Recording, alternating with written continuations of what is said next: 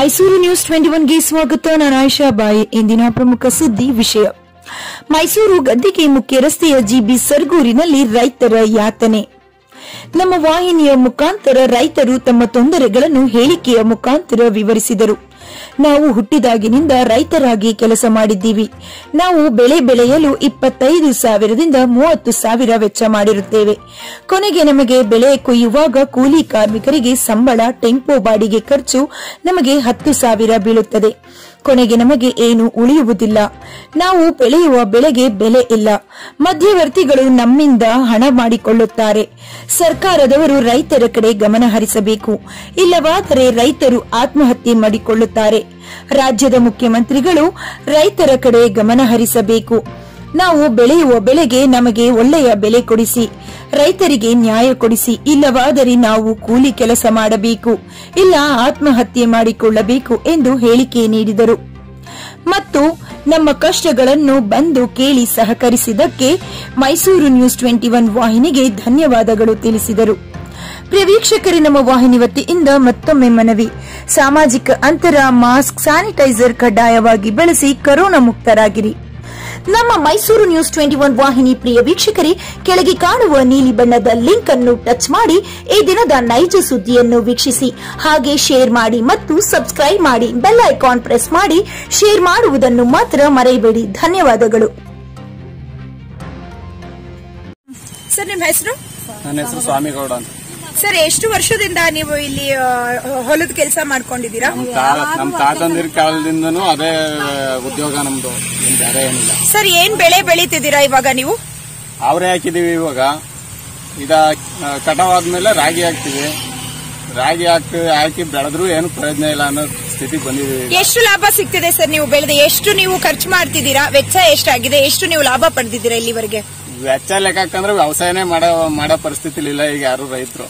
ಅಂದ್ರೆ ನಾವು ಕೂಲಿಲಿ ಹೋದ್ರೆ ಚಂದ ಅನ್ನೋ ಸ್ಥಿತಿಗೆ ಬಂದಿವಿ. ಲಾಕ್ಡೌನ್ ಆದ್ಮೇಲಂತೂ ಇನ್ನು ಏನು ಬೇಡ ವ್ಯವಸಾಯನೇ ಬೇಡ ಅನ್ನೋ ಸ್ಥಿತಿಗೆ ಬಂದ್ವಿ. ಸರ್ ನಿಮ್ ಬೆಳೆಗಳಿಗೆ ಎಷ್ಟು ಬೆಲೆ ಕೊಡ್ತಾರೆ? ಇವಾಗ ನೀವು ಉದಾಹರಣೆಗೆ ಅವರೆಕಾಯಿ ಬೆಳೆದಿದ್ದೀರಾ? ಹತ್ತು ರೂಪಾಯಿ ಹನ್ನೆರಡು ರೂಪಾಯಿ ಹೈಯೆಸ್ಟ್ ರೈಟ್ ಆಗಿದೆ ಈ ವರ್ಷ. ಇಷ್ಟು ವರ್ಷ ಮೂವತ್ತು ರೂಪಾಯಿವರೆಗೂ ಸಿಗ್ತಾ ಇತ್ತು.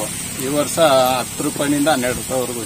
ಅಷ್ಟೇ ಹತ್ತು ರೂಪಾಯಿ ಹನ್ನೆರಡು ರೂಪಾಯಿ ಮಾತ್ರ ಸಿಗುತ್ತೆ. ನೀವು ಕೂಲಿ ಕಾರ್ಮಿಕರಿಗೆ ಎಷ್ಟು ಕೊಡ್ತೀರಾ ಸರ್ ಇನ್ನೂರು ಇನ್ನೂರ ಐವತ್ತು ರೂಪಾಯಿ ಕೂಲಿ ಬೆಳಗ್ಗೆ ಹೊತ್ತು ಗಂಟೆ ಬಂದ್ರೆ ಇನ್ನೂರ ಐವತ್ತು ರೂಪಾಯಿ ಕೂಲಿ ಸಂಜೆ ಐದು ಗಂಟೆವರೆಗೂ ನಿಮ್ಗೆ ಇದರಲ್ಲಿ ಲಾಭ ಎಷ್ಟಿದೆ ಸರ್?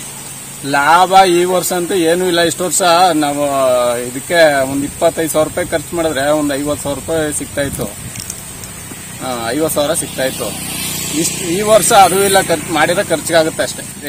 ಅಷ್ಟಕ್ಕೆ ನೇರ ಆಗ್ತಾ ಇದೆ. ಏನೂ ಇಲ್ಲ ಸರ್ ಮಾಡಿದ್ರೆ ನೀವು ಸರ್ಕಾರದವ್ರಿಗೆ ಏನ್ ಹೇಳೋದಕ್ಕೆ ಇಷ್ಟಪಡ್ತೀರಾ? ಸರ್ಕಾರ ಸರ್ಕಾರಕ್ಕೆ ಏನು ಹೇಳ್ತಾ ಇದೀವಿ ಅಂದ್ರೆ ನಮ್ಗೆ ಒಂದು ಸ್ವಲ್ಪ ಬೆಂಬಲ ಬೆಲೆ ಕೊಡಿ ರೈತರ ರೈತರು ಕೆಲಸ ಮಾಡ್ತಾ ಇರೋದಕ್ಕೆ ಒಂದು ಸ್ವಲ್ಪ ಬೆಂಬಲ ಬೆಲೆ ಕೊಟ್ಟು ಇದನ್ನು ಖರೀದಿ ಮಾಡೋದಕ್ಕೆ ವ್ಯವಸ್ಥೆ ಮಾಡ್ಕೊಡಿ ನಿಮ್ಮ ನ್ಯೂಸ್ ಚಾನಲ್ ನಾವು ಇಲ್ಲಿ ಮೈಸ್ ಮೈಸೂರು ದೇವರಾಜ ಮಾರ್ಕೆಟ್ ಆಗ್ತಾ ಇದ್ದೋ ಎ ಪಿ ಎಂ ಸಿಗೆ ಹಾಕ್ತಿದ್ವಿ ಅಲ್ಲಿ ಬಂಡಿಪಾಳ್ಯ. ಅದು ಬಿಟ್ರೆ ಈಗ ಬೆಲೆ ಇಲ್ಲದೆ ಇರೋದ್ರಿಂದ ಬೆಂಗಳೂರಿಗೆ ಹಾಕಿ ಹೋಯ್ತಿದ್ವಿ ಖರ್ಚು ಜಾಸ್ತಿ ಆಗ್ತಾ ಇದೆ. ಚಾನೆಲ್ ಅವ್ರು ಬಂದು ಇವತ್ತು ನಮ್ಮ ಹಳ್ಳಿಗೆ ಬಂದು ನಮ್ಮ ಹೊಲದಲ್ಲಿ ನಿಂತು ಸ್ಟೇಟ್ಮೆಂಟ್ ಕೊಡ್ತಾ ಇರೋದಕ್ಕೆ ಧನ್ಯವಾದ. ಸರ್ಕಾರಕ್ಕೆ ಮಾಹಿತಿ ತಲುಪಿಸಕ್ ತಲುಪೋ ವ್ಯವಸ್ಥೆ ಮಾಡಿ ಅಂತ ಕೇಳ್ಕೊತಾ ಇದ್ದೀನಿ ನಿಮ್ಮ ಚಾನಲ್ ನೋಡಿ ಒಂದು ಎಕರೆಗೆ ನಮ್ದು ರೈತರಿಗೆ ಇಪ್ಪತ್ತೈದರಿಂದ ಮೂವತ್ತು ಸಾವಿರ ರೂಪಾಯಿ ಖರ್ಚು ಬರುತ್ತೆ ಇದಕ್ಕೆ? ನಮ್ಗೆ ಇವತ್ತು ಹತ್ತು ರೂಪಾಯಿ ಕೆಜಿ ಆಗಿದೆ. ಕಿಲೋ ಹತ್ತು ರೂಪಾಯಿ ಆಗಿದೆ. ಹತ್ತು ರೂಪಾಯಿ ಆದರೆ ನಮ್ಗೆ ಇವೆಲ್ಲರೂ ಎತ್ಕೊಂಡ್ರೆ ನಮಗೆ ಇವತ್ತೆಲ್ಲ ಹಾಕಂದ್ರೆ ಹದಿನೈದರಿಂದ ಇಪ್ಪತ್ತು ಸಾವಿರ ರೂಪಾಯಿ ಆಗುತ್ತೆ. ನಮ್ದು ಮೂವತ್ತು ಸಾವಿರ ರೂಪಾಯಿ ಖರ್ಚಾಗಿದೆ. ನಮ್ಮ ಕೈಲಿಂದ ಹತ್ತು ಸಾವಿರ ರೂಪಾಯಿ ಹೋಯ್ತು. ನಾವು ಮಾಡಿರೋ ಶ್ರಮ ಏನು? ರೈತರು ಮಾಡಿರೋದು. ನೋಡಿ ಇಷ್ಟು ಜನಕ್ಕೆಲ್ಲ ಲೇಬರ್ ಲೆಕ್ಕ ಹಾಕೊಂಡ್ರೆ ಕೂಲಿ ಲೆಕ್ಕ ಹಾಕೊಂಡ್ರೆ ನಮ್ಗೇನು ವರ್ಕೌಟ್ ಆಗಲ್ಲ. ಅದರಿಂದ ಎಲ್ಲ ದಳ್ಳಾಳಿಗಳ ಪಾಲು.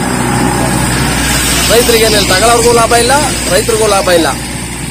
ನಮಗೆ ರೈತರು ಮಧ್ಯದವರು ಲಾಭ ಮಾಡ್ಕೊತಾವ್ರೆ. ಅದರಿಂದ ಸರ್ಕಾರದವ್ರು ಏನಾರ ಮಾಡಿ ರೈತರಿಗೆ ಒಂದು ಅನುಕೂಲ ಮಾಡ್ಕೊಡ್ಬೇಕು ಅಷ್ಟೇ ಮಧ್ಯವರ್ತಿಗಳಿಗೆ ಮಧ್ಯವರ್ತಿಗಳಿಗೆ ಲಾಭ ಆಯ್ತಾ ಇದೆ.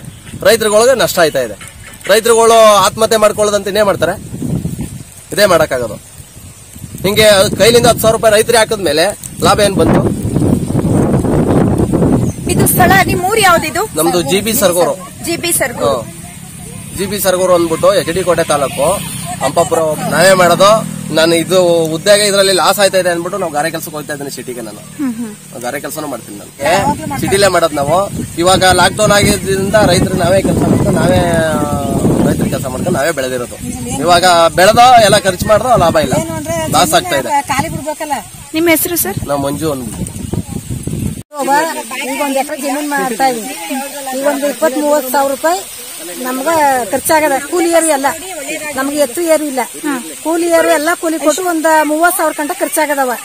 ಈಗ ನನ್ಗೆ ಹತ್ತು ಸಾವಿರ ಸಿಕ್ಸ್ ಎಲ್ಲ ಸಾಲ ಮಾಡ್ಕೊ ಕುಂತೀವಿ. ನಿಮ್ದು ಸ್ವಂತ ನಮ್ದು ಸ್ವಂತ ಜಮೀನಿ ಅದ ಒಂದ್ ಒಂದ್ ಎಕರೆಗ ಒಂದ್ ಇಪ್ಪತ್ ಮೂವತ್ ಸಾವಿರ ಖರ್ಚು ಮಾಡಿವಿ. ಈಗ ಹೊಲದಲ್ಲಿ ಏನಿಲ್ಲ ಈಗ ಒಂದ್ ಎರಡ್ ಕ್ವಿಂಟಲ್ ಮೂರ್ ಕ್ವಿಂಟಲ್ ಅದ್ ಹತ್ತು ರೂಪಾಯಿ. ಏನಿಲ್ಲ ಸಾಲ ಮಾಡ್ಕೊಂಡಿವಿ ಅದಕ್ಕೆ. ಈಗ ನಾವು ಬರೀ ಗೇಮ್ ಗೇದು ನಾವು ಹಿಂಗ ಇಷ್ಟು ಮಾಡ್ತೇವೆ. ಏನು ಸಿಗ್ತಾ ಇಲ್ಲ. ಬಾಳ್ ಬಿಡ್ಬೇಕು ಅಲ್ವಾ ಅನ್ನುವಂಗ ಆಗದ ನಮಗೂ.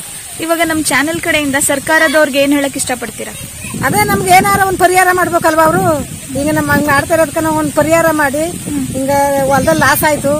ಹಿಂಗೆಲ್ಲ ಎಲ್ಲೆಲ್ಲ ಹೋಯ್ತಾರೆ ನಾವೇನು ಗರವರಕ್ ಹೋಗ್ಕತ್ತ ನಾವೆಲ್ಲಾರ ಗೇಯಕತ್ತ ನಿಮ್ಗೆ ಎಷ್ಟು ಮಕ್ಕಳು ನಮ್ಗ ನಾಲ್ಕು ಜನ ಅವ್ರ.